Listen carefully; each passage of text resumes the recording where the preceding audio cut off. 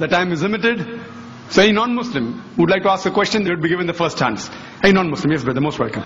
मेरा नाम श्याम है श्याम सुनार मैं मराठी महानगर पेपर में काम करता हूँ पत्रकार हूँ आपकी बातों से मतलब आ, मेरे पास शब्द नहीं है क्या बोलना लेकिन ये मुझे लगता है कि भारत में हिंदू और मुस्लिम एक होने के लिए कुछ ना कुछ होना चाहिए, ऐसा मुझे लगता मैं करता आया हूँ, दस बारह साल से। लेकिन आपके मुँह से मैं ये सुनना चाहता हूँ कि भारत में, बस्ती में, मैं तो चालीस गाँव इस गाँव में रहता था, मुंबई में रेजुलिटी के लिए आया हूँ। बस्ती बस्ती में जो हिंदू और मुस्लिम है, इनके दिल में अगर गलत फहमी है, और वो है भी, सही मायने में कुछ हद तक है तो वो दूर करने के लिए आपकी क्या सुझाव है कि हिंदू और मुस्लिम दोनों कम्युनिटी के लोग कैसे इकट्ठे आ सकते हैं? Brother asked a very good question. That what is the suggestion from me that how can we get the Hindus and Muslims on a common platform? How can we come together? The reply to this is, I have given a talk on similarities between Hinduism and Islam. I have given the talk in Bombay, I have given the talk in Chennai, I have given in other parts of India, and we find there that tens of thousands have attended in Bombay, about 20,000, in Chennai, a similar number, and other parts of India. And many non-Muslims have attended. Many Hindus have attended, thousands of them. And many of them told me that Brother Zakir, there was a person, just a comment, that what I did not know about Hinduism in the past 40 years of my life, I have learned in the past 4 hours. I follow the guidance of the Quran of Surah Al-Imran chapter 3 verse 64 which says, Ta'ala. Come to common terms as us and you. Which is the first term? Allah na'budu illallah. That we worship none but one God. What we realize that I don't believe in interfaith dialogue. We say that Hinduism is the same, Islam is the same, Christianity is the same. This is just a gimmick. If I ask the Hindu Pandit, will you become a Muslim? He'll say no. If I ask the Muslim, will you become a Christian? He'll say no. If I ask the priest, will you become a Hindu? He'll say no. So what is same? It's not same. We have to agree that there are differences, but there are similarities also. Let us agree at least to follow the commonalities. What is different, keep it aside. What I say, that take all the religious scriptures, whether it be the Bhagavad Gita, whether it be the Veda, the Upanishad, the Bible, the Quran, at least what is common, what is different, keep it aside, we can discuss some other time, but at least what is common, let us agree to follow it. And I've given a talk and I've showed so many similarities. So many. So you can refer to my video cassette. And what happens, many of them are not aware. The Muslims are not aware of their religion. Similarly, the Hindus are not aware of their religion. Many of the Muslims objected. Similarity between Islam and Hindu is impossible. So many of the people came with the talk to attack. The Rabbi, I'm bullying. What nonsense. Hindu and Muslim, same. But when they heard the talk, they were shocked. Those who came to attack, they agreed with the talk. Similarly, many Hindus came.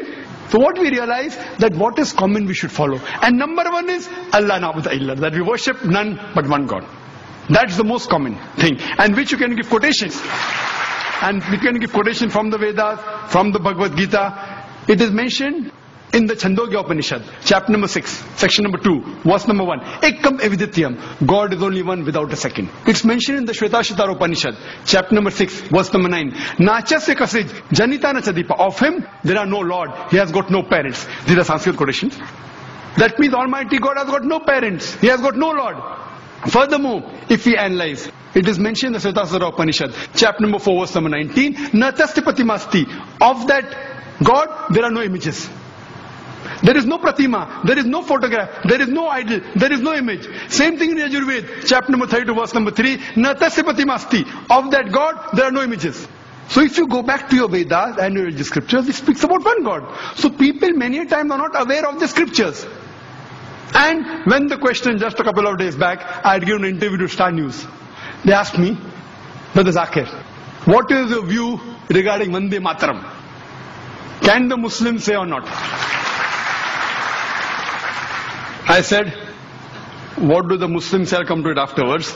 I'll first tell you what the Hindu scriptures say. he was shocked. What do I mean by that? I said, if anyone who's a scholar of the Veda, the Veda agrees that God has got no pratima. So when you say Vande Mataram, that this country is my mother and you call it God, a person who's a scholar, I'm not talking about the normal people who don't know about the scriptures. But you ask a scholar, he will say that Vande Mataram goes against the Vedas. Because Vande Mataram in no less than three places it says, I bow down to thee.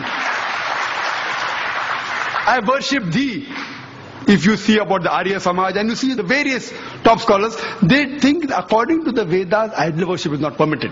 There are verses in Bhagavad Gita, chapter number 7, verse number 20, which says that you should not do idol worship. So here when we go back to your scriptures, unfortunately, they believe in a form of pantheism. So even according to the Vedas, if you're a good scholar, this song, Vande Mataram, that I bow down and I worship thee, as I quoted in Sanskrit about Upanishad, it's against. Even in Islam, there are 12 lines which are objectionable. Three times it is said, Vande Mataram, which means I bow down to thee. If once it says that this country is my mother, once it says I will kiss the feet, once it says about the divine things, about the smile, talking about divinity, it calls it Lakshmi, it is called Durga. All these things are objectionable. We Muslims, we love this country. But we will not bow down to anyone but to Almighty God. Even a mother, even a mother who has born in a womb for nine months, we love her, we respect her, but we will not bow down to a mother. To our own mother. The number one human being who we love and respect in the world after Allah subhanahu wa ta'ala, it is Muhammad sallallahu alaihi wasallam. We will even not bow down to a prophet, Prophet Muhammad, peace be upon him. Is it required that we should sing this song Vande Mataram? It is a political gimmick. Politicians, they thought they get the vote bank. They even made a gimmick on the date. You know when it was written by Bankim Chand Chattopadhyay in 1876. It was published in 1882. So where is century come now? And where 7 September? They made a mistake, the politician, political gimmick. Furthermore, even a Muslim living in Saudi Arabia, he cannot bow down to his country, Saudi Arabia. Even a Muslim living in Pakistan cannot bow down to Pakistan. It is shirk. So to say that the Indian Muslims are not patriotic, it is our religion. Our creator, our God who has made this country is far superior. So we love this country. When required for the truth, we are willing to die for this country. But we will not bow down to anyone but Almighty God. We would prefer questions from non-Muslims first because we have a limited time. I think it would be fair to the occasion. And people who would like to ask questions on slip can kindly write on the slips and pass it on down the aisle. Yes. Any other question with any sister there? A non-Muslim sister? Yes. Assalamu alaikum and good evening to everyone present here. My name is Preeti Sethi. I would like to ask you, sir, as in your talk you have said that Osama bin Laden, we can't consider him as a terrorist as it is said in BBC and CNN channels. But at the same time, we get the same information about the bomb blast and the count which we get about the bomb blast on the same channels. So whether it has to be believed or no. Thank you, sir. The sisters asked a very good question, very relevant question. I said that when we talk about Osama bin Laden, that if you get information on BBC that he's a terrorist, we don't have to believe. But when we get the count of the bomb blast, do we have to believe? That's what I said, the people controlling. That doesn't mean all the news of BBC is wrong. That news in which they make a hero into a villain, in which they benefit, you have to check up. So here we see that these normally bomb blast figures that you get, most of them that you find will be somewhat similar. If it's a government channel of the country in which the bomb blasts had taken place, the figure will be normally low. Why? Because the government wants to show that less people have been killed. Like the police commissioner wrote to me, 187 people killed. Newspaper writes 207. I don't know who's right. I'm not saying that Commissioner A. N. Roy is lying. I'm not saying that. Please don't get me wrong. So here we have to realize when we get information, we have to see the proof. When we see the proof, about Osama bin Laden, even on the channel, it is mentioned prime suspect sister. Prime suspect. Prime suspect. Do you know, if you go to the website of the US Department of Justice, Info Police, that give the list of the terrorist organizations. Terrorist organizations. 43, 60% are Muslim. Can you guess which is the most popular terrorist organization? Can you guess Muslim terrorist organization? Can you guess? No, sorry. Which is the most popular Muslim terrorist organization? Al Qaeda. You don't get a prize for that, very easy. Al Qaeda. According to the US Department, you know how many attacks? How many attacks? Ulfa, 749 attacks. Al Qaeda, only 28. Out of that, 26 alleged, two Al Qaeda claims they did it. According to the site of US Department of Justice, Al Qaeda claims all alleged, not a single proved. Even on the official site of US Department of Justice, not a single attack of Al-Qaeda has been proved. I'm not here to support Al-Qaeda. You know, when Yvonne Ridley went to Afghanistan, she was arrested by the Taliban. She comes back and she's asked the question, what are your views about Al-Qaeda? She replies, I doubt whether Al-Qaeda exists.